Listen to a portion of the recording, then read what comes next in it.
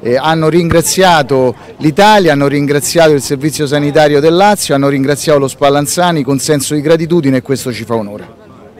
Erano in contatto da dentro con i parenti in casa loro? Sì, sì, sì assolutamente sì, attraverso iPhone, telefoni, diciamo, sono stati sempre in contatto, e vengono da diverse province della, della, Cina, non dalla provincia direttamente e maggiormente interessata, quella di Hubei, ma da altre province anche dalla città di Pechino.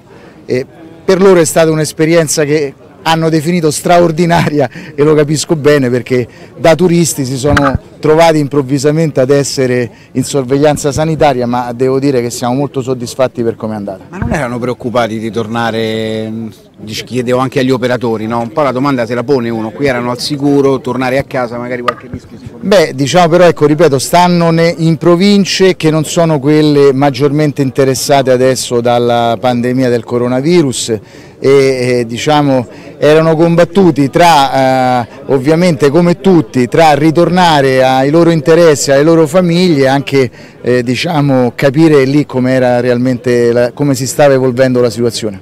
Grazie.